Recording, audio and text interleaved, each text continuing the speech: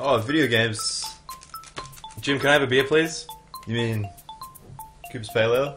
Yes, I'd love some Cooper's Pale Ale. But I don't have a bottle opener.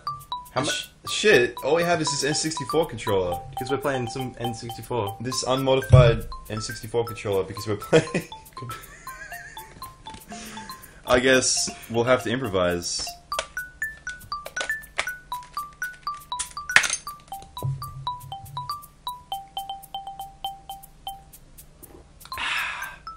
Alright, for those of you who didn't see, let's do it nice and close up. So you chuck it into the memory pack slot, upside down. Alright? And you just pull. Second time. Give me that shit.